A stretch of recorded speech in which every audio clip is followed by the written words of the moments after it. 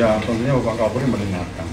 Sementara masukan pasti Bapak Kapolri ini selalu terbuka, selalu transparan dan mendengarkan apa yang menjadi aspirasi dari semua pihak. Tentu tentunya pimpinan Polri juga akan memiliki berbagai macam pertimbangan-pertimbangan komprehensif sebelum mengambil keputusan. Ya.